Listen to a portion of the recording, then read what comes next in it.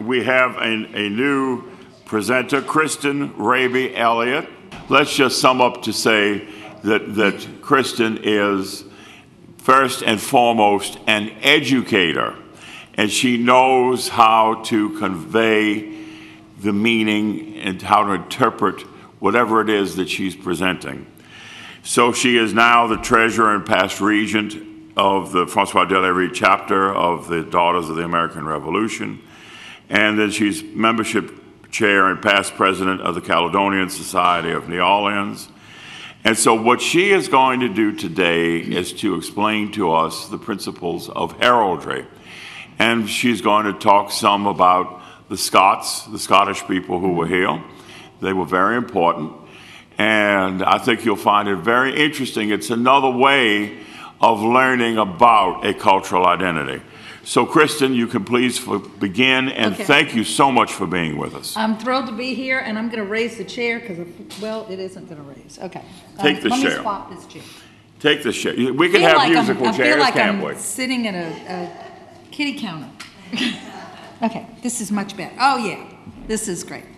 Okay, first off, um, this talk was developed by my husband. I am not an expert on heraldry, but I was around him long enough to uh, learn a lot.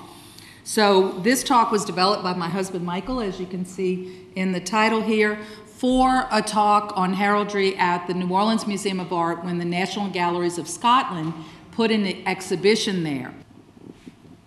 So, heraldry. How a knight's helmet brought about a 900 year tradition. When most people hear the word heraldry, I'm sure their mind conjures up something rather old and dusty and perhaps covered with cobwebs. But heraldry is all around us and the, it affects our everyday lives. We see heraldry in the municipal shields that are on the doors of this uh, building. We see it in the seal of the state of Louisiana and, of course, the Great Seal of the United States of America. We see it when we look at our flags, such as the Louisiana state flag and the Stars and Stripes. Heraldry can be seen everywhere in the form of commercial signs, logos for businesses, and on the computer, and believe it or not, on traffic signs. But since we in the United States do not have heralds, we don't have that kind of person here, as do Britain, Canada, the Scandinavian countries, and even the Vatican has its own herald, we sometimes get heraldry wrong. When you watch the news, you might hear the newscaster talking about the latest advancement in medical science or an increase in medical insurance. On the background screen, you might see this. If you look up at the top left, is what I'm talking about. This is the caduceus. It is the wand of the Greek god Hermes and the Roman god Mercury, who in mythology were the gods of commerce and communication. But you're going to see that for the medical people. If you look at the one on the bottom right of the browned area, this is the one they should be using. This is the staff of Asclepius. Asclepius was the son of the Greek god Apollo and the nymph Coronis. He distinguished himself by healing the sick and wounded during the Greek and Trojan Wars. Upon his death, Asclepius ascended to Mount Olympus and became the god of physicians and medicine. To the best of my knowledge, the only group of healthcare professionals to use the proper heraldic symbol is the Emergency Medical Service and their trained EMTs and paramedics, as shown on the right.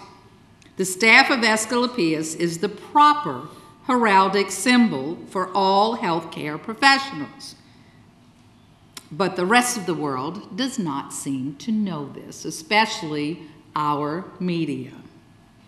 Heraldry had its beginnings nearly a thousand years ago, and it developed as most things do out of necessity. Prior to 1066 and the invasion of England by William, Duke of Normandy, known as the Conqueror, and up to about 1165, during the reign of Henry II, Knights were dressed for battle like this. And if you look at the top knight and his helmet, with this type of helmet, other knights and foot soldiers could tell if they were following the same the right king or knight.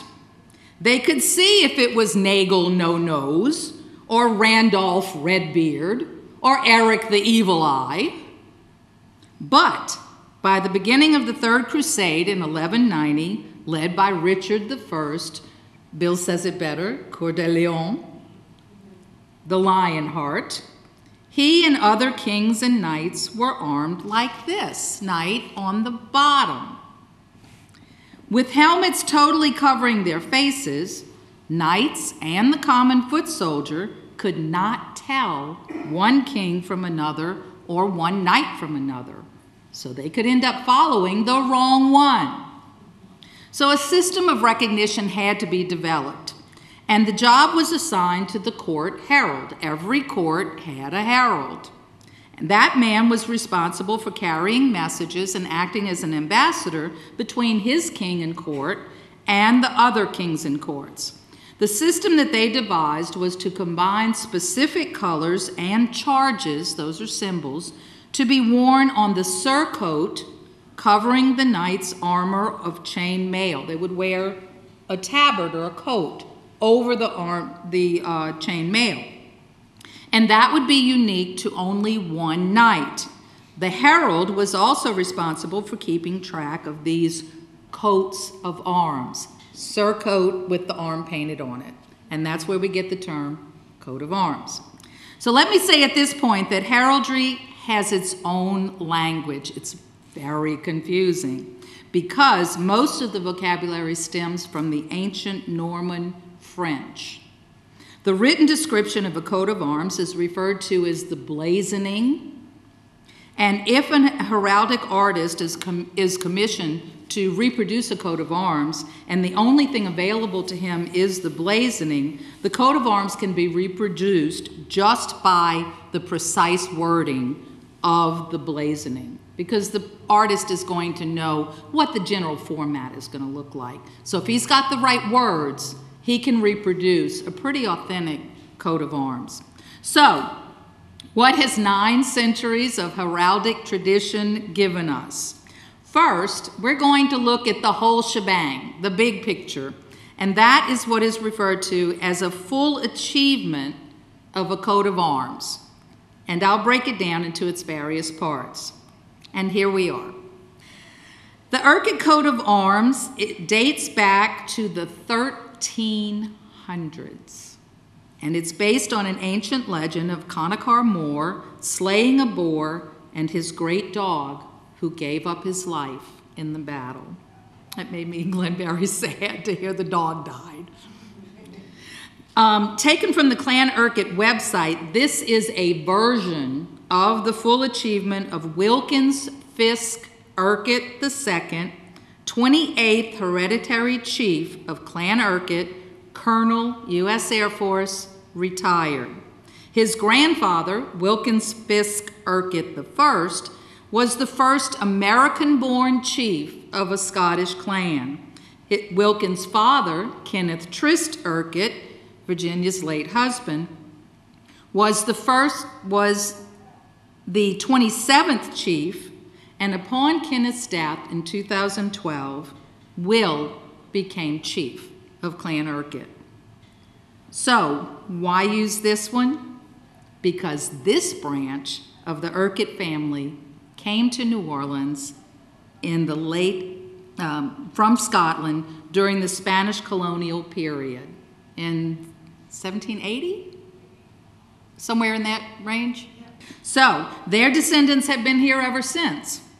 So, you might have noticed streets in New Orleans and Chalmette bear their name. Meet the family. Dr. Robert Dow, who was born in Edinburgh and settled in New Orleans in 1778, became the physician at the Royal Hospital, and he married Angelica, the widow of George Urquhart that Virginia just mentioned. Her two Urquhart sons, Thomas and David, fought on the American side in the battles for New Orleans. After we look at the full achievement, I'll share a bit more about the Urquhart family and other groups who fought in the battles and their connection to this area and to heraldry. So, looking at the coat of arms, the focal point of any coat of arms is the shield. The shape of this shield is a typical one used in Scottish heraldry, and it has a gold background. The charge, which is the chosen symbol or device that helps with identification, is three boar's heads. Next comes the helm or the helmet, which in Scottish, English, and other heraldry denotes rank. You can tell the rank of a person by the helmet. In this case, it's a Scottish chief. So it is a tilting helm of steel facing three quarters right, and that is the wearer's right, not the observer's right. It's just like stage right, stage left is the opposite from the audience. Behind the helm is the mantling, that's that red and gold drapery, and originally this was based on the cloth that would hang from the back of the helmet to protect the neck. On top of the helm is a wreath, and if you were looking at it in 3D, it would be a circlet of cloth woven, and it matches the colors of the mantling. On top of the wreath is a crest coronet, that's that little crown, to denote a Scottish chief. And issuing from the crest coronet, coming up out of the crest coronet, is the crest for Clan Urquhart. In this case, it is a naked woman from the waist upwards holding a sword in her left hand and a palm sapling in her right hand. The next component is the motto. The motto is usually written in Latin. It can be placed above or below the shield, and in this case, it's a translation of Old Scots, and the motto is placed around and above the crest. It reads, Speak well, mean well, and do well. Do well, mean well, speak well. The war cry or slogan is called the cri de guerre, and it is usually written in the common language of the people, but it is not shown on this achievement. The slogan for Clan Urquhart is trust and go forward. The next component to look at is the supporters. The supporters here are two greyhounds with collars and leashes. They can be all types of animals as well as human. And if the supporters are animals, they are usually shown standing on their hind legs as if they're holding up the shield. And so the greyhounds, the great dog of Connachar Mór, are pictured here as supporters for Clan Urquhart. Supporting the supporters is the compartment. That's the bottom part, and it's depicted as a piece of ground. It's either brown or green. In this case, it's green. And it often has a flower or a plant growing out of it that is associated with the owner of the coat of arms. In this case, it's a cheiranthus, known as a wallflower. It's a flower that grows in the cracks of stones, suitable for Scottish terrain, and it has four yellow petals each. But some elements of a full achievement are not in this example of Clan Urquhart. This is a fictitious full achievement that my husband drew based on a famous group in New Orleans, and I think you can figure out what this is of. In this case, the motto is in Latin, pro bono publico, for the good of the public. And the war cry is in French Laissez le bon temps rouler. Let the good times roll. If an item is hanging from the compartment, as you can see in this picture, it is an order of chivalry. And it uh, can be used when the owner of the coat of arms has been awarded an honor or is a member of an organization of charity or chivalry such as the Knights of Columbus, one of the Masonic orders, the Knights Templars, or others. Now, the remaining components that could be in a full achievement are the manteau or robe of state. That's that huge, luscious cape that wraps around everything, and it's usually lined in ermine or some other fur. It has the mace, which are the two poles sticking out of either end, crossing behind the shield, and the crown of state. Now, these are only used in the heraldry of Germany, Old Prussia, Russia, and that may ring a bell as to why they use this on this coat of arms, the Grand Duke Alexis and his visit to the city of New Orleans, which sparked the creation of Rex, and some Eastern European countries. These components, the mantle or robe of state, the mace, and the crown of state, are not used in Scottish, English, or Irish heraldry.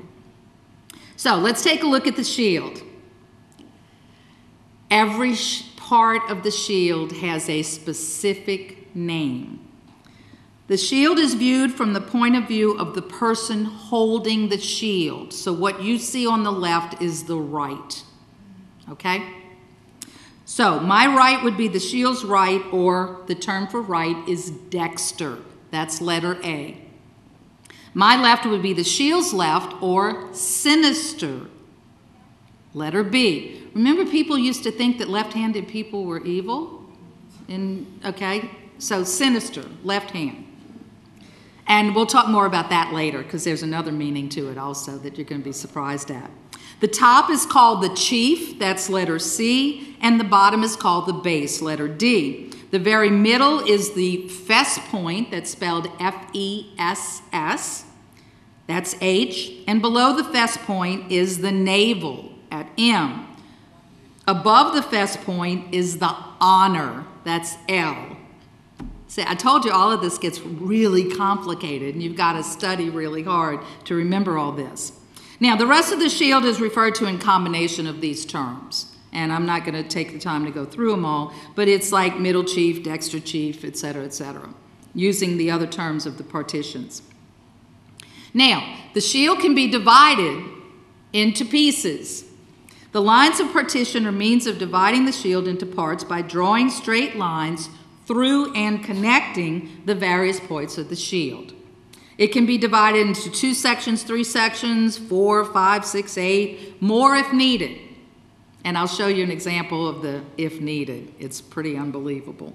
So it's called the listings here, the per fess, per pale, et cetera, et cetera. Now, when you get down to per quarter, it shows it divided into four parts, but it could be a lot more. And each part is still called a quarter, even if it's a lot more than a quarter. They don't break it down into the, uh, you know, eighths or sixteenths. They just call it all quarters. Um, there, the ones at the end are interesting, the Chequy and the gyronny. Uh, Clan Campbell uses the gyronny on its shield in black and gold. And um, I don't, uh, Stewart of Bute has part of, part of its shield in Chequy. Um, they're not used very often. You won't see them very often. You will see the other divisions more often. Sometimes people get a bit carried away with their ancestry. This is the shield of Lloyd of Stockton, and it has 323 quarters. Now, some heraldry scholars think this is a bit ostentatious, but others feel it offers a roadmap in one quick glance to a person's ancestry, family relations, and history. And Bill was very kind to, to scan this for me out of a book I had. And when I showed it to him, even though he said, I don't know much about heraldry, he immediately picked it up and he went, Oh, this, this one's from France. Oh, he's got some Spanish ancestry here. He's got this. So Bill, without much knowledge of heraldry, was able to look at that and start picking out elements of this person's ancestry. So if it's a bit over the top, well, you know, some people like that. Now, from the lines of partition, we get the simplest forms that are seen on the shield, and these are referred to as ordinaries. Um, they are simple geometric figures bounded by straight lines. They run from side to side or top to bottom on the shield. And you can see the top left is the chief because that band goes across the top of the shield, which is the chief position. Now, let's look at the bend. Okay, now that bend is depicted from right top to left bottom. Remember, it's the opposite of us looking at it. and it's called a dexter bend, right hand bend. If your shield has a bend going from top left to bottom right, that is a sinister bend, and it means you were born on the wrong side of the blanket. So, watch out for that when you look at cross at uh, shields. The saltire that's shown here is the same is often called the St. Andrew's cross because St. Andrew was cru- crucified on a saltire rather than a crucifix. Um, the others are uh, labeled there. The two four borders on the bottom. The one on the left is the orle, O R L E. The second one next to it is a double tressure. That's the split border there. The third one is called the escutcheon, and it because it has that plaque or escutcheon in the middle. And then the one uh, up on the right is a plain border. And bordering comes in when you're doing generational or other decorative things. Uh, borders are used in Scottish heraldry to denote differences between fathers and sons um, and other members of the same family that are granted the similar coat of arms. They, because the coat of arms would be granted to other members of the family if they petition for ownership of it, they have to make it different and somehow, and they'll use um, borders to do that. Now, a next subdivision, and again it gets very intricate, are subordinaries, and these are geometric target charges, and there's only two I really want to discuss. The first one is the lozenge, which you see is on the left third down, and the label, which is um, in the bottom middle. This diamond shaped device is called a lozenge, and it is also the shape of the coat of arms or the shield when the owner of the coat of arms is a lady. The shield is recognized as an article of war, and therefore it is appropriate for a man, but not for a woman. Remember, these rules were being written 900 years ago? So, um, you know, there was kind of different viewpoint about what women could do. And that proves that over 900 years ago, even the heralds realized that diamonds are a girl's best friend. The exception to this rule is when the lady who owns the coat of arms is also chief of a Scottish clan, which is the case for Clan Elliot, the clan I married into. Our chief, Margaret Elliot, has a shield instead of a lozenge because she is chief of Clan Elliot. The label, um, that one in the bottom middle, where you see the three bars hanging down, is used on the shield of the eldest son when he is granted the same coat of arms as his father while the father is alive, since it is assumed that the eldest son will be the heir of the father's title and estates. When the father dies, the label will be removed from the shield of the son. And I'll show you even more uses of the label in a minute. Now, color. How do we get the color for heraldry? There are only five colors, or tinctures, or what they called, in heraldry. Gules, red, sable, black, azure, blue, purpure, purple, and vert, green. The two metals that are used in heraldry are gold, or, OR, which is a real pain in the butt to talk about because people think you're just saying or this or that um, and argent, silver. Those are the two metals. So five colors, two metals. That's it. Since gold and silver paint hadn't been invented up to about 100 or so years ago, the only way to replicate the two metals was to use real gold or silver leaf. And since there was a real possibility of losing a shield, your armor, your helm, your sword, your horse and its tack on the battlefield or on the field of honor, if you were in a tournament where winner takes all, it was way too big a risk to use the real thing. So, what they did was use yellow in place of gold. So, when you see yellow, it's not a color, it's a metal, and white in place of silver. So, do keep that in mind. Yellow and white are the metals, not the tinctures. There's one exception to the above rule about tincture. Another term used in heraldry related to color is the word proper. When the word proper is used in the blazoning, it means that the heraldic artist will use the colors from nature. So, for instance, if a blazoning says a stag proper, then the artist is going to paint that stag with antlers in their natural colors of tan, brown, black, and white. Another rule pertaining to color is that a tincture, a color, should never be placed upon another tincture, and a metal cannot be placed touching another metal. In, uh, instead, tinctures are placed on metal, and metal is placed on tincture. But sometimes it just won't work if you want a particular thing. So looks will supersede the rules, as we'll see later on. Now, with the invention of the printing press, you'll notice that there are black and white versions of these up here. Uh, before colored ink was used, a device of printing heraldic colors in black and white was invented by an Italian artist by the name of Pietro Santa in 1638. And he used vertical lines and dots. And you can see on the slide there what each of the black and white symbols meant for the color.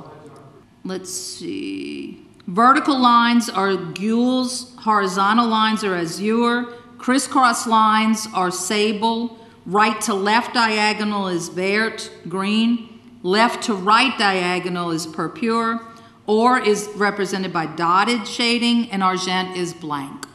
So that's the black and white version of the colors. Thank you, Glenn.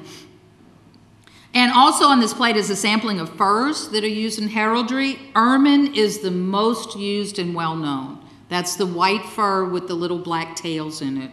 And again, fur can't be placed on fur, but fur can be placed on both color and metal.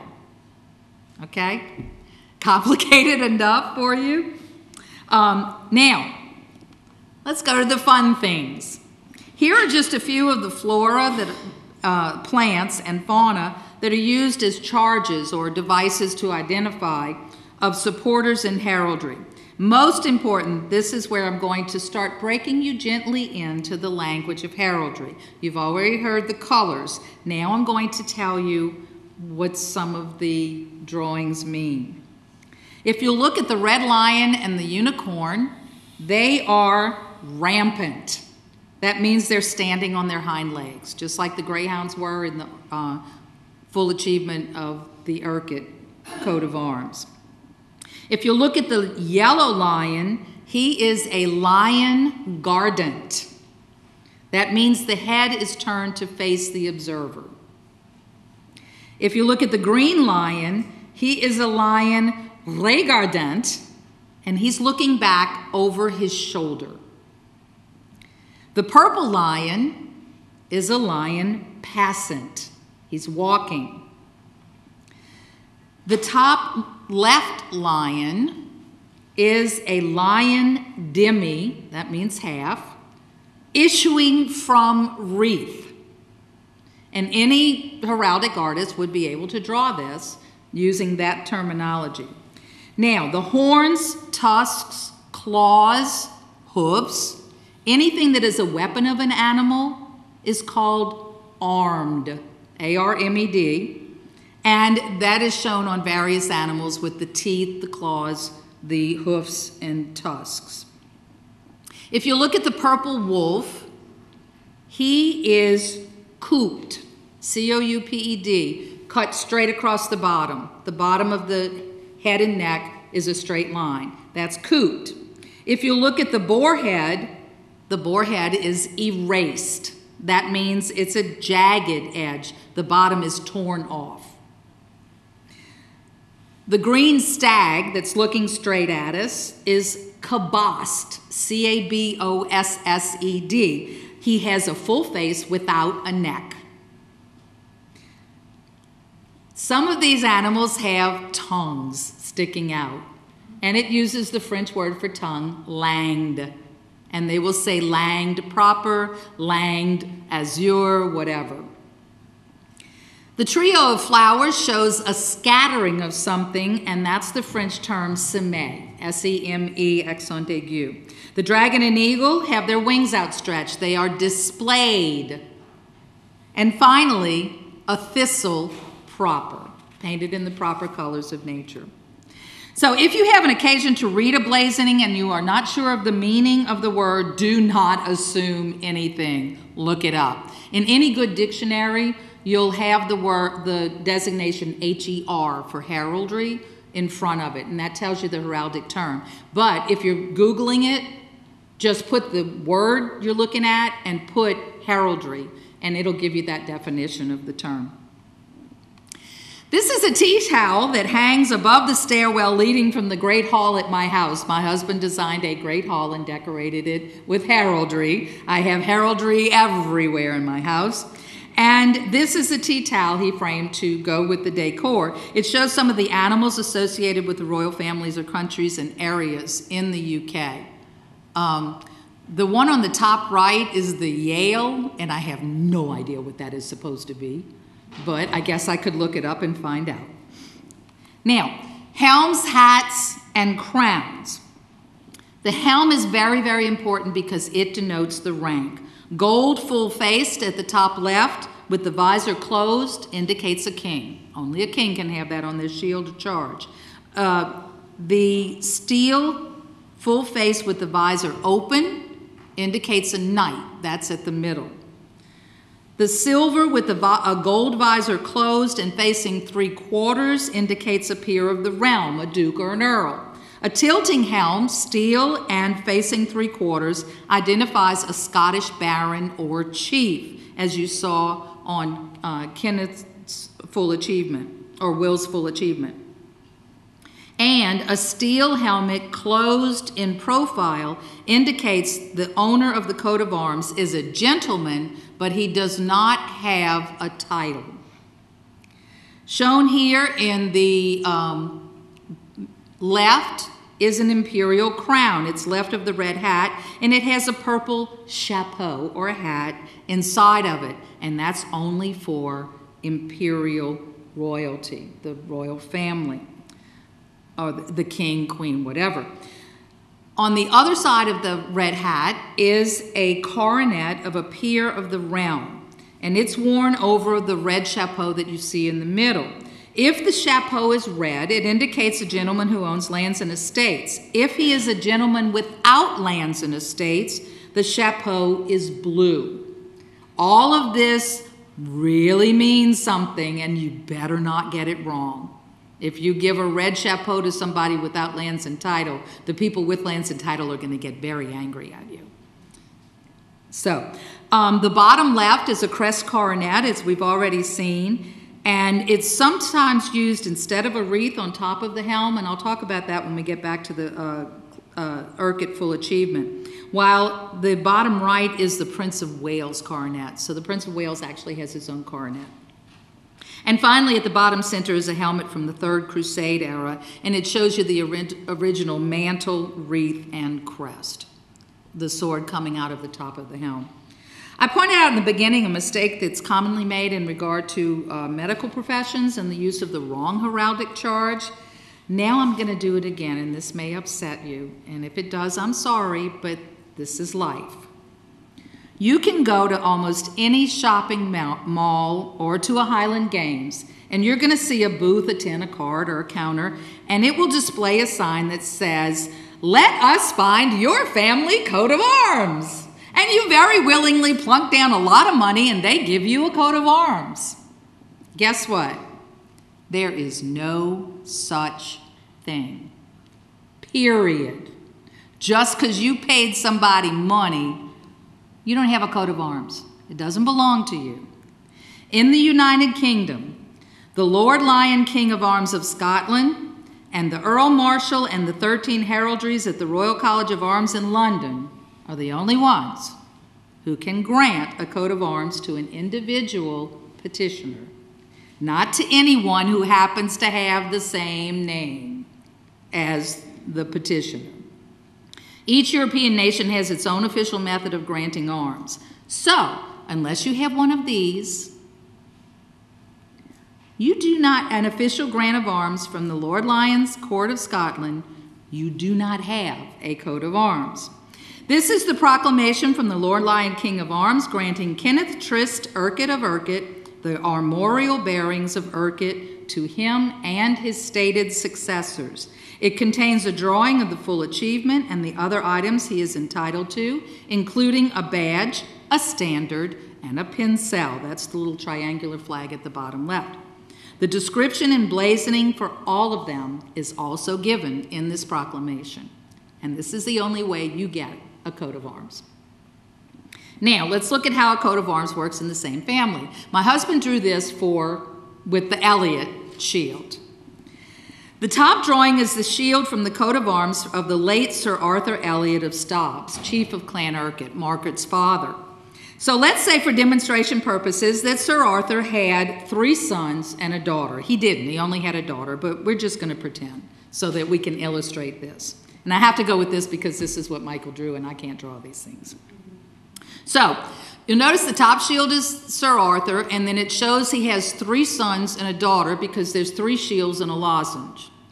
And they have various types of the charges of the bar, Dexter, on the coat of arms. The first son gets the label. That means he's the oldest son. The second son gets a yellow border with a gold background instead of, uh, uh, with a, I'm sorry, a yellow border around it.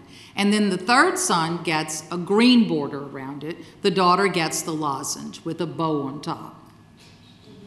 Okay, the first son has three sons.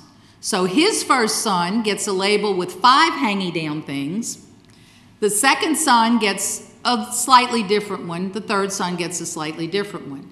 The second son has two sons, so he gets a label with, I think, seven hangy down things, and the second son gets the yellow border with something else on it. The grandson has a son, so he gets the shield with the label on it, with more hanging down things, and the second and third great grandson get more labels and so forth, and it just goes on down. So all of this is done if the chief is alive. And he has all of these descendants who are alive. Once the chief dies, it all bumps up one, and they all get changed. So, also included um, on these are what are called cadency marks. And those are other ch charges placed on the shield to show birth order. And believe it or not, they have a chart of cadency mar marks that go out to the 16th daughter and the 16th son, and every one of those marks means something as to birth order. So again, it's insanely confusing, but it's the Lord Lyon's job to figure it out, not yours. You don't have to worry about it, they know what to do. Okay, now at the bottom, we have the marriage of two families. On the left is the shield of Scott of Buccleuch. And the owner of this shield marries into the Elliott family. The two bottom ones show the shields joined. The left one means a male Elliott married a female of Scott of Buccleuch who owned the coat of arms. She would have had a lozenge, but on his shield, of course, it's going to be the shape of a shield. On the right, a female Elliott married a male Scott of Buccleuch. And because she's female, she can join the two together, but it has to be in the shape of a lozenge. If you uh, notice when uh, Prince William became engaged to Kate Middleton, the Middleton family applied for a coat of arms and received it Kate applied for the coat of arms as the daughter, and Will, Prince William, joined her coat of arms to his to show a union coat of arms. And it had Kate's coat of arms in half with the royal coat of arms that Will William, Prince William owns. Okay, now, this is taken from the Urquhart Ensign's Armorial um, and that Virginia gave me to photograph. And at the time of the printing of this, it, it was it had a whole bunch more on it. I only used the first two. But at the time of this printing, Kenneth was still alive, and the coat of arms on the left shows him as chief of Clan Urquhart, while the one on the right shows that he has a son who has been granted the coat of arms, but with labeling, and that's the blue that's on uh, Will's coat of arms. And he is listed as the younger because Kenneth's father had the same name as him.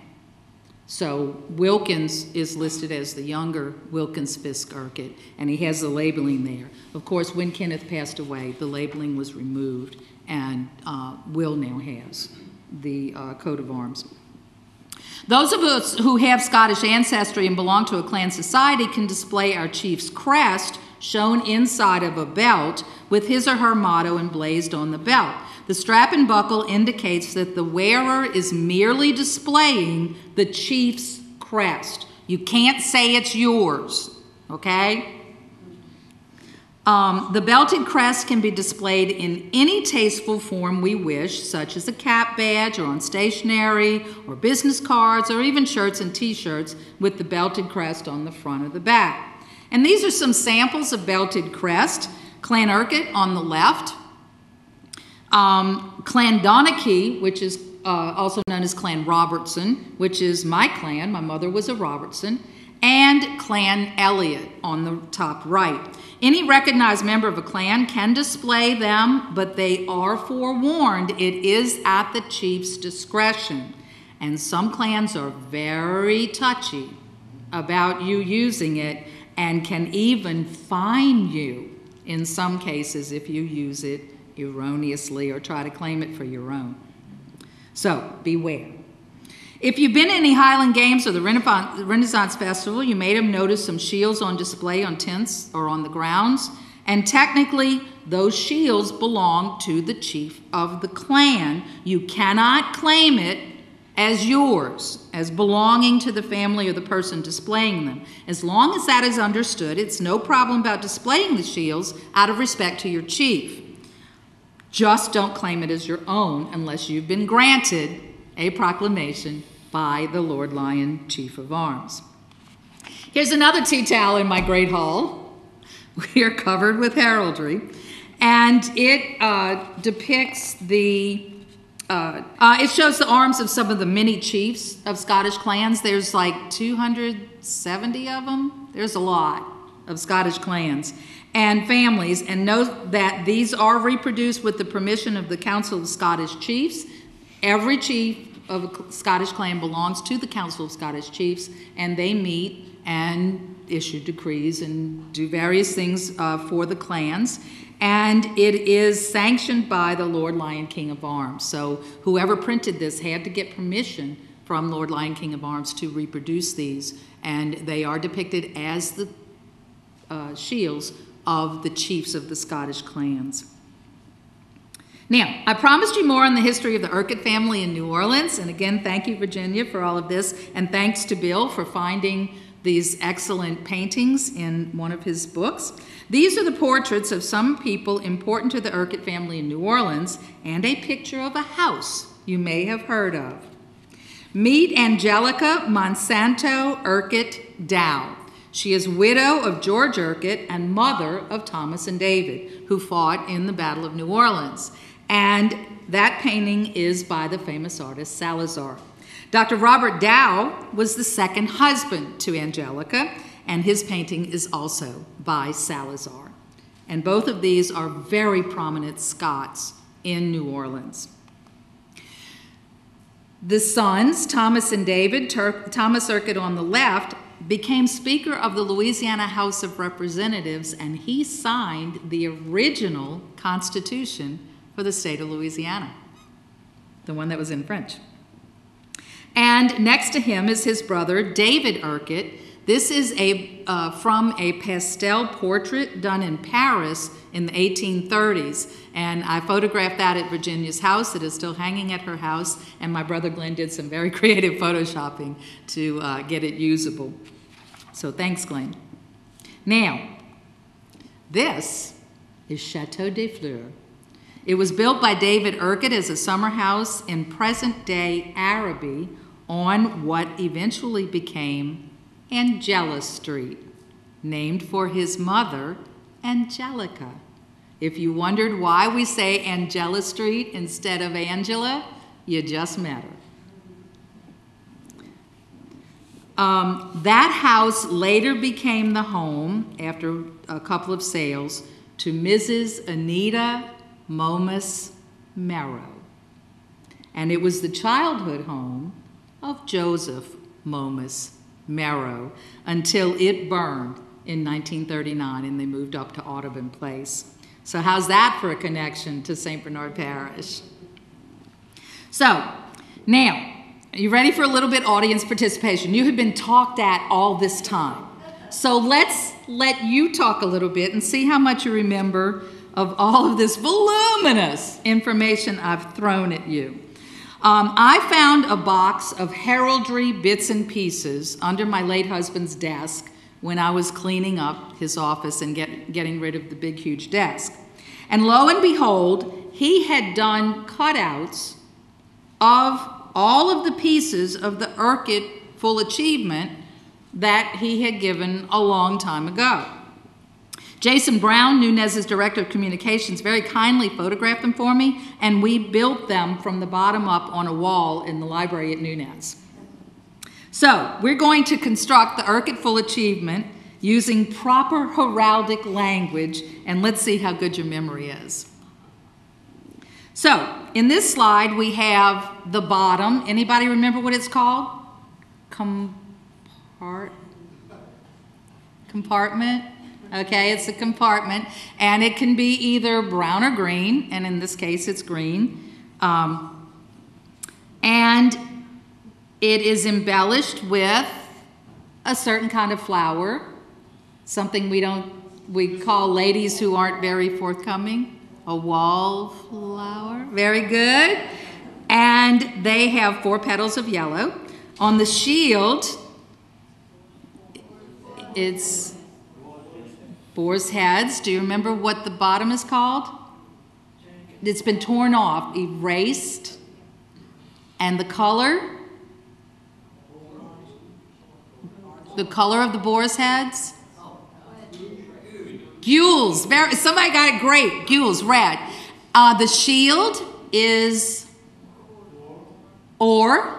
Excellent. Y'all are great. Now, the boar is armed proper, that means what? Its, its tusks are white, but it's langed azure. What's, what's azure? The tongue. Very good. Y'all are great. Okay, now we added the supporters. Okay? And they are two greyhounds proper because they're the natural color, right? Now, they have, they are collared what color? Gules. We've said it already. And they have leashes reflexed over their back and the color? Or. Very good. Next comes the helm, mantling, and wreath. The blazoning says helm befitting, befitting his degree. Now, any artist, the heraldic artist, is going to know he's a Scottish chief. So he gets a tilting helm facing which direction? Three quarters right. Very good. Yay, y'all, y'all listened. I'm so proud of you. Now, there is, uh, oh, the mantling is what colors?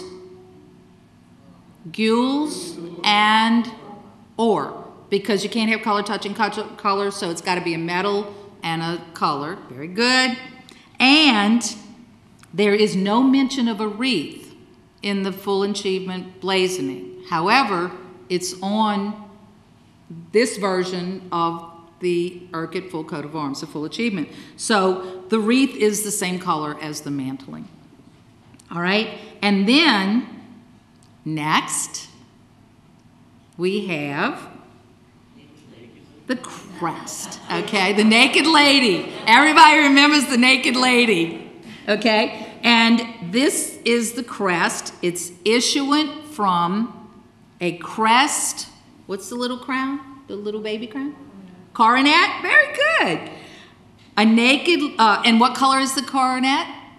Or a naked woman from the waist upwards, and she's colored how? No, look at her.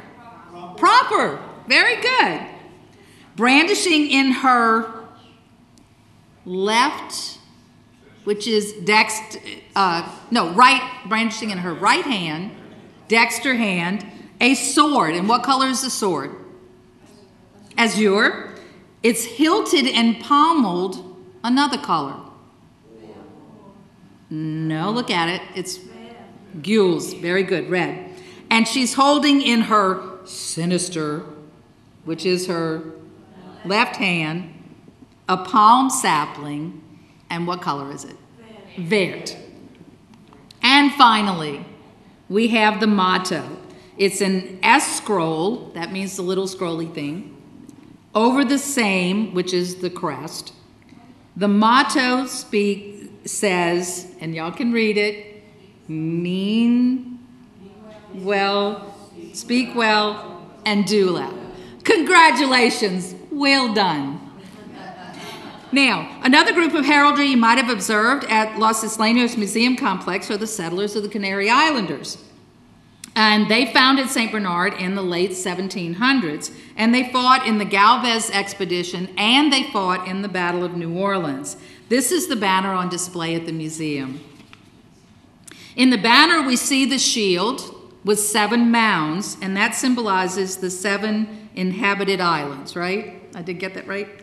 And the, it, the supporters are the famous Bardino Majorero dogs, which arrived in the islands with the indigenous people from North Africa, the ancient Berbers. And through breeding with the English Mastiff, the breed is now called the Presa Canario.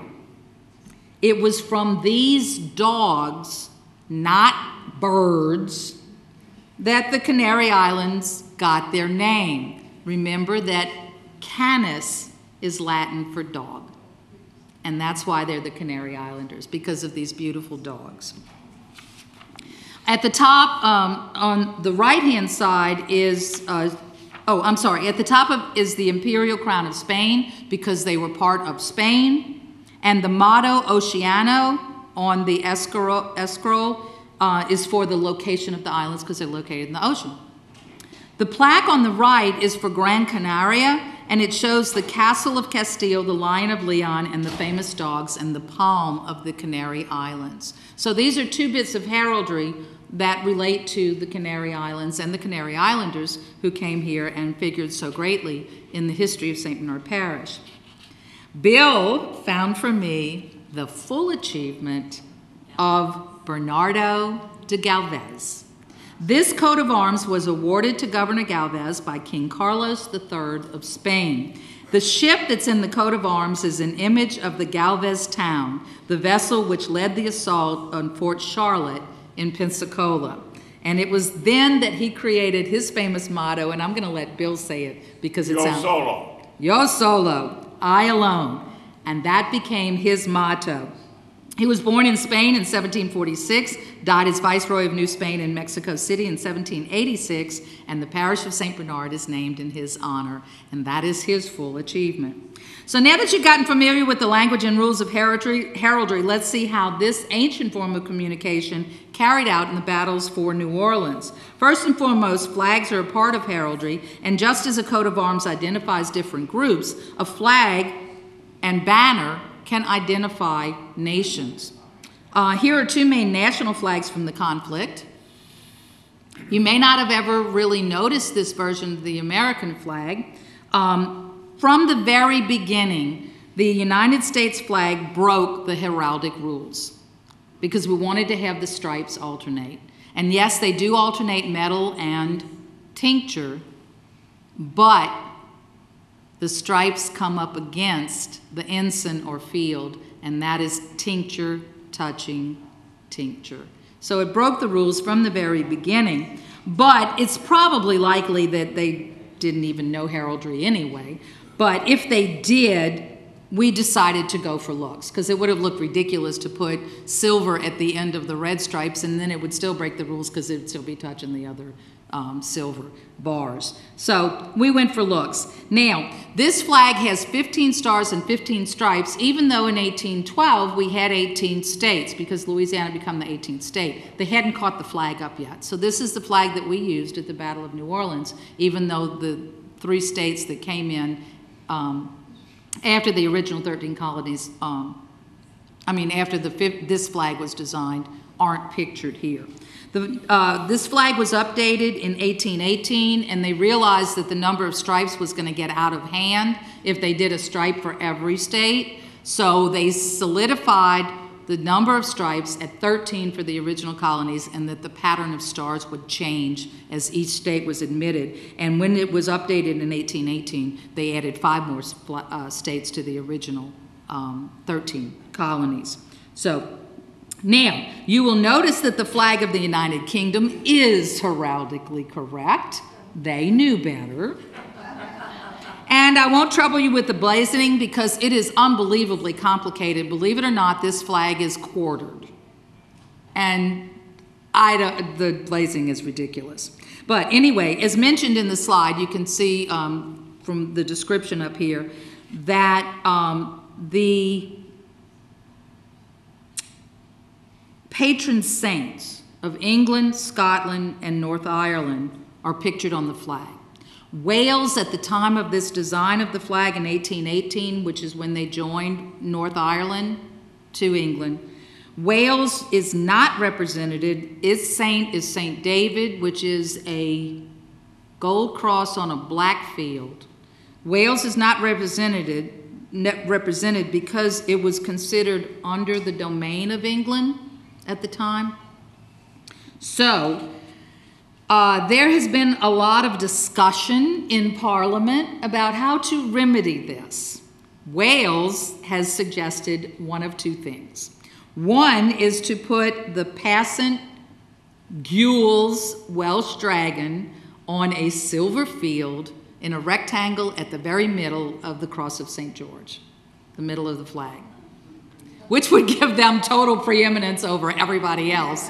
Um, that was rejected as ridiculous. The other suggestion was to change the white background of the cross of St. George, again, that's the vertical and horizontal bars, to the yellow or of St. David. And again, it really looks ugly. And that was dismissed. Um, either one of those would violate heraldic rules. So um, I doubt that either one of those is going to happen, and Wales is going to continue to not be represented. All right, now we're going to get down. Since this talk emphasizes Scottish heraldry, we're going to conclude with the most important British group in the battles of New Orleans. It is only fitting that we conclude by examining the heraldry related to the 93rd Sutherland Highland Regiment of Foot. As most of you know, this regiment suffered the highest casualties in the fifth battle for New Orleans on the morning of January 8, 1815, due to their heroic adherence to orders. And here they are. The following is taken from their website. For this expedition, the 93rds were ordered to wear tartan trousers, trews, instead of their kilt, and Hummel bonnets in place of the feather bonnet. No other Highland units were in this division, and as the only Highland, as only Highland regiments wore the kilt, it is obvious, despite what you see from Hollywood, from drawings, from anything else, there were no kilted soldiers involved in the New Orleans campaign. Even Andrew Jackson's biographer called them kilted soldiers. They weren't. They were in trousers because it was freaking cold. on a historical note, this is not on their website, it was the only time the 93rds went into battle without a kilt, and it was their only loss. So, after the Battle of New Orleans, they passed a regimental law that they would never again go into battle without their kilts. That's how important it was. So, again from their website, on January 8th, the main body of the 93rd, some 960 men, moved up in the column along the river road on the British left to reinforce where needed, originally to help take the advanced U.S. redoubt by the river, which was accomplished. They actually took the redoubt, but it lacked support and faltered. But then the British right faltered. U.S. cannon fire from the West Bank was continued, and so the 93rd, with pipes playing Monymusk, the regimental charge, was ordered to cross the field diagonally to assist the right flank.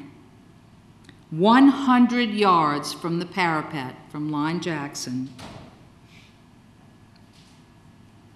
Commander Colonel Dale ordered a halt, and no one knows why. Whether it was to uh, begin forming an attack column or to ascertain the situation they were in will never be known because he was shot through the head. The 93rd had been ordered to halt, and halt they did, and they stood in parade formation 100 yards from the Tennessee and Kentucky rifles. He was killed immediately. General Keane was also down, as was General Gibbs. Many more 93rd officers fell. Pakenham rode forward to rally his army and died not far from the 93rd, having previously called out, Have a little patience, 93rd, and you shall have your revenge. The regiment had no further orders, and so stood. Firm and immovable as a brick wall, as one American observer was to write. Other British units broke and ran all around them. General Lambert, having taken command, and seeing the 93rd standing their ground alone in the murderous artillery fire, sent orders to the regiment to withdraw. So the 93rd came back in parade ground formation precision, suffering between 300 to 500 casualties. Three quarters of the regiment's force and one fourth of the total British casualties. The immense bravery shown by the 93rds in this advance was noted by the American Paul Wellman, General Andrew Jackson's biographer. And he wrote To the very edge of the canal before the rampart, the few that were left of the kilted regiment marched, then halted there. The men who had been detailed to bring scaling ladders and fascines had failed to come up. Unable to go forward, too proud to retreat, the magnif- uh, uh, although the regiment behind them had all fallen back, at length, a mere handful of what had been the magnificent regiment slowly retired, still in unbroken order, still turning to face the foe. From the ramparts, the Americans cheered them wildly. All rifle fire ceased. That is how brave the 93rds were.